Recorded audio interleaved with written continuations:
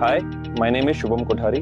I am a lower middle order batsman and a left arm spinner. Hi Shubham, uh, how has been the atmosphere so, uh, so far in the dressing room? Uh, it has been good. Like the players are uh, gelling uh, up well, uh, and since we have played with each other for such a long time, so the atmosphere has been lively always.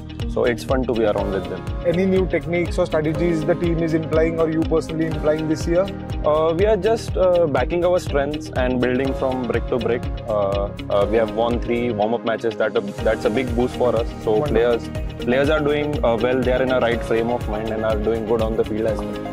Who is the prankster in the dressing room or who is the one who has the most amazing kind of jokes around or has the fun around? Who is the funniest guy in the I I think uh, most of them have named a particular name, but all of them are pranksters because all of them have so much of gossip with them. So there is always uh, uh, gossip around uh, with everyone.